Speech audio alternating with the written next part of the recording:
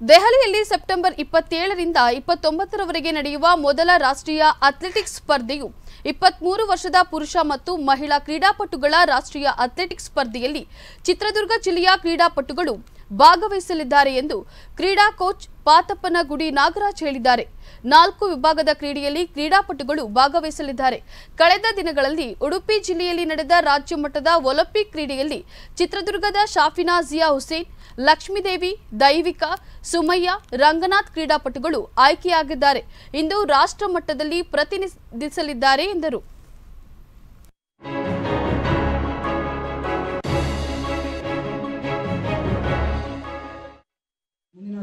ಒಂದು ನಡೆಯುವಂಥ athletics federation of India ವತಿಯಿಂದ ನಡೆಯುವಂಥ ಒಂದು ನ್ಯಾಷನಲ್ಸಲ್ಲಿ ನಮ್ಮ ಚಿತ್ರದುರ್ಗ ಜಿಲ್ಲೆ ಐದು ಕ್ರೀಡಾಪಟುಗಳು ಆಯ್ಕೆಯಾಗಿದ್ದಾರೆ ಅವರ, ಇವರ ಪರವಾಗಿ ನಮ್ಮ ಚಿತ್ರದುರ್ಗ ಜಿಲ್ಲಾ ಅಥ್ಲೆಟಿಕ್ಸ್ ಅಸೋಸಿಯೇಷನ್ ಹಾಗೂ ಚಿತ್ರದುರ್ಗ ಜಿಲ್ಲಾ ಜನತೆ ಪರವಾಗಿ ಗೆದ್ದು ಬರಲಿ ಅಂತ ಆಶಿಸ್ತಿದ್ದೇವೆ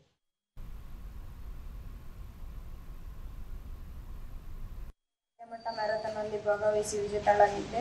ಹಾಗೂ ಮುಂಬರುವ ದಿನಗಳಲ್ಲಿ ರಾಷ್ಟ್ರಮಟ್ಟ ಅಥ್ಲೆಟಿಕ್ ಫೆಡರೇಷನ್ ಆಫ್ ಇಂಡಿಯಾದಲ್ಲಿ ಭಾಗವಹಿಸುತ್ತಿದ್ದೇನೆ. ನಮ್ಮ ಜಿಲ್ಲೆ ಹಾಗೂ ನಮ್ಮ ರಾಜ್ಯಕ್ಕೆ ಒಳ್ಳೆಯ ಹೆಸರನ್ನು ತಗೊಂಬರ್ಬೇಕಂತ ಆಶಿಸ್ತೀನಿ. ಶಿವಮೊಗ್ಗದಲ್ಲಿ